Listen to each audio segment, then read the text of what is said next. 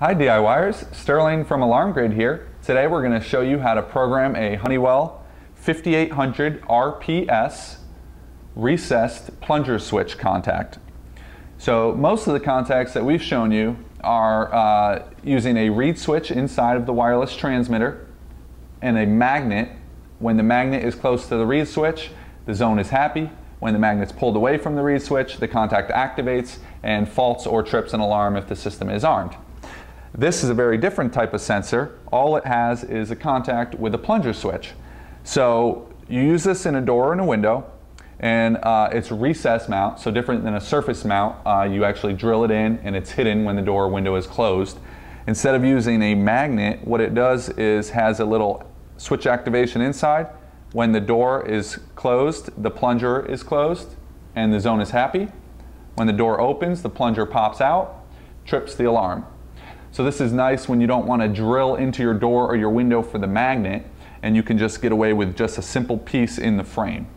Um, this is an antenna. You want to make sure that when you install this that the antenna is extended and not bunched up or coiled up because that will reduce the range. Uh, typically in your frame you're going to have just open wall once you get past your studs so just make sure you drill through and install it so that it's all the way stretched out. So that's how the 5800 RPS works. Um, one piece of uh, note there, uh, we, we normally do like to recommend the 5800 Micra or the 5818 MNL if you're going to go with a wireless recess sensor. The reason is when the contact and the magnet works, it's, it's more reliable. Uh, this plunger switch, because it is uh, on a spring, after so many activations, you know, maybe thousands, but eventually this may stick. So when your door opens, this doesn't pop out the way it should. Therefore, your zone uh, would not be happy um, or, or, would not know that the alarm went off. Um, so again, it, it is reliable, um, but if you're looking at recess, um, we, we would urge you to consider the 5818 MNL or the 5800 Micra instead. If you are going to go with the 5800 RPS, we're going to show you how to program it in now. So we've got our battery installed, it's ready to be programmed. From our home screen, we're going to hit More and then Tools, we're going to enter our installer code, default 4112. Go into Program, shows System Programming at the top. Go to our Zone screen, and we're going to scroll down to our first available new zone. Always skipping Zone 1, that's our hardwired zone. We're not using that with the Lynx Touch. Zone 14 is our first available zone. Toggle it, click Edit, we're going to use this on our garage door. And the first thing we want to do is learn in the serial number. On the 5800 RPS, since it's a smaller contact, they put the barcode sticker with the serial number on the antenna. And you can see here, it's got the A for alpha, and then your seven digit number, 041 1761.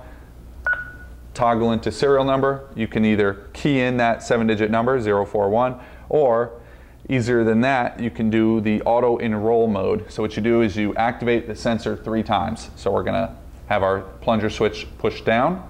We're gonna open our door once, beeps, close our door, open it again, learns in automatically the serial number and the loop. You always want to use loop number one for a 5800 RPS. And then a third activation, close our door, open it, saves in that information, takes us back to our zone screen. So now that we've got it learned in, we want to name it. So instead of just zone 14 going off and us having to remember that's our garage door, we can name it that. So we toggle in here. We've got our uh, keypad and we're going to choose from the available library.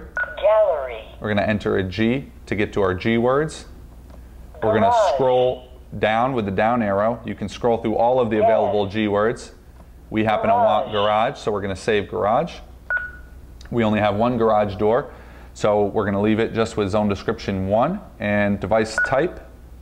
Choose door, so it'll actually speak garage and door. We know when that zone is tripped. Response type, because this is our garage door, this is the door that we use to come into the house when the system is armed. Therefore, when we choose our response type, and we're going to choose between perimeter or entry exit 1, we want to choose entry exit 1. By doing that, what we're telling the system is give me a delay. When I activate this zone, give me my program 30 seconds to get to my keypad and turn my system off. That way uh, you're not tripping an alarm every time you're coming home. So we have entry exit one.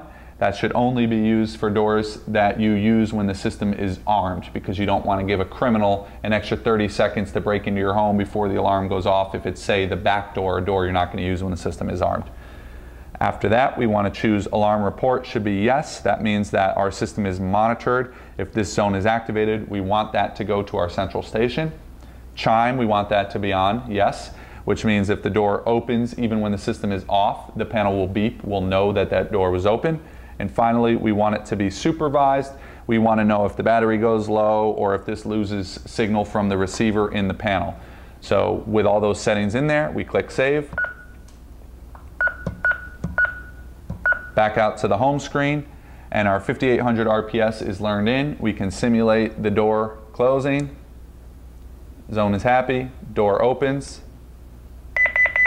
Garage door. We have a fault, the zone, the system will not let us arm because it wants to let us know, hey, you have a, a, uh, a zone that is breached right now. As soon as you close the door, push in the sensor, system is happy, ready to arm.